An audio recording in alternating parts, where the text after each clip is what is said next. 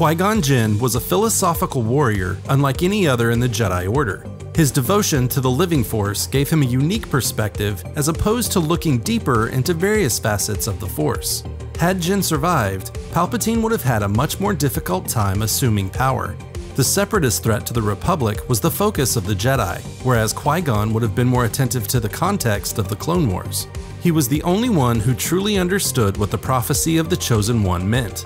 The Jedi believed the Chosen One would destroy the dark side, restoring balance to the light. The Force itself showed Qui Gon that each side required the other, and he was the only one who understood the meaning of Anakin Skywalker being a vergence in the Force. Had he trained the boy, he would have taught Anakin how to restore balance using his dark side tendencies in conjunction with the light side. By killing Qui Gon, Darth Maul altered the course of galactic events. Let me know what you think about this in the comments.